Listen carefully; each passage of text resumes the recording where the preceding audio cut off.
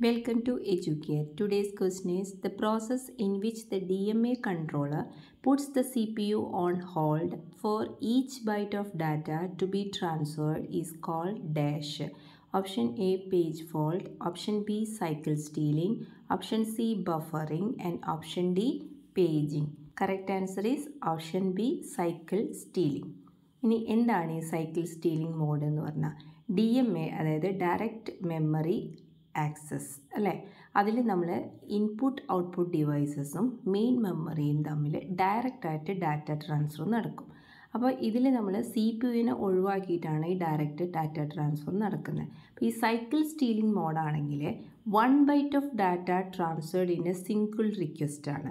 After one byte of data transfer കഴിഞ്ഞ് കഴിഞ്ഞാൽ the control of the system bus is given back to the C P U for transferring one byte of data per request okay അതുപോലെ നമ്മളിപ്പോൾ C P U നമ്മൾ ഒരു byte of data input output ഡിവൈസിൽ നിന്ന് main മെമ്മറിയിലേക്കോ അല്ലെങ്കിൽ main മെമ്മറിയിൽ നിന്ന് input output ഡിവൈസിലേക്കോ transfer ചെയ്ത് കഴിഞ്ഞാൽ നമ്മൾ സി പി യുവിന് നമ്മളെ എന്ത് കൺട്രോൾ കൊടുക്കും. ഓക്കെ അങ്ങനെയാണ് ഇവിടെ നമ്മൾ സൈക്കിൾ സ്റ്റീലിംഗ് മോഡിൽ വരുന്നത്. അതായത് one byte of data transfer ചെയ്യും പിന്നെ സി പി യുവിന് കൺട്രോൾ കൊടുക്കും. C P U data transfer നടക്കും. വീണ്ടും അടുത്ത റിക്വസ്റ്റ് വരുമ്പോൾ one byte of data transfer ചെയ്യും. അങ്ങനെ വൺ ബൈ വൺ ആയിട്ടാണ് നമ്മളിവിടെ സൈക്കിൾ സ്റ്റീലിംഗ് മോഡിൽ ഡാറ്റ ട്രാൻസ്ഫർ നടക്കുന്നത്. എങ്ങനെ data data transfer input output ഡിവൈസും main മെമ്മറിയും തമ്മിലുള്ള data transfer using D M A control നടക്കുന്നത് ഇനി അതുകൂടാതെയുള്ള മോഡുകളാണ് burst mode D M A എന്ന് പറയുന്നത് ഇവിടെ ബേസ്റ്റ് മോഡ് ഡി എം എയിൽ എങ്ങനെയാണ് ചെയ്യുന്നത്? Entire block of full block of ഡാറ്റയാണ് നമ്മൾ ഒറ്റ അറ്റ് ടൈമിൽ നമ്മൾ എന്ത് ഇൻപുട്ട് ഔട്ട്പുട്ടിൽ നിന്ന് മെയിൻ മെമ്മറിയിലേക്കോ അല്ലെങ്കിൽ മെയിൻ മെമ്മറിയിൽ നിന്ന് ഇൻപുട്ട് ഔട്ട്പുട്ടിലേക്കോ ട്രാൻസ്ഫർ ചെയ്യുന്നത്.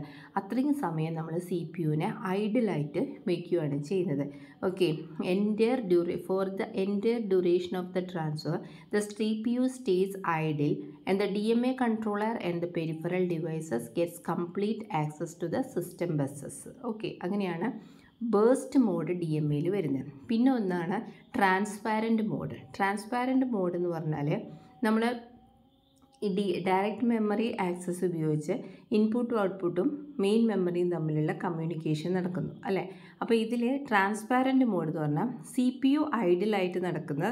അതായത് സി പി യു നമ്മളുടെ സിസ്റ്റം ബസ്സസിനെ റിലീസ് ചെയ്ത് അത് വേറെ പ്രോസസ്സുകൾ ചെയ്യുന്ന സമയത്താണ് ഈ ട്രാൻസ്പാരന്റ് മോഡിൽ എന്ത് സംഭവിക്കുന്നത് നമ്മളെ ഇൻപുട്ട് ഔട്ട്പുട്ട് ഡിവൈസും മെയിൻ മെമ്മറിയും തമ്മിലുള്ള direct memory access through D M A data transfer നടക്കുന്നത് അതായത് സി പി യു എപ്പോഴാണോ സിസ്റ്റം ബസ്സസ് യൂസ് ചെയ്യാതിരിക്കുന്നത് ആ സമയത്ത് ബാക്ക്ഗ്രൗണ്ട് ആയിട്ട് നമ്മൾ എന്ത് ചെയ്യും? ഈ D M A use D M A control use ചെയ്ത് ഇൻപുട്ട് ഔട്ട്പുട്ട് ഡിവൈസസും നമ്മളെ മെയിൻ മെമ്മറിയും തമ്മിലുള്ള ഡാറ്റ ട്രാൻസ്ഫർ നടക്കും. അതിനെയാണ് ട്രാൻസ്പാരന്റ് മോഡ് എന്ന് പറയുന്നത് ഓക്കെ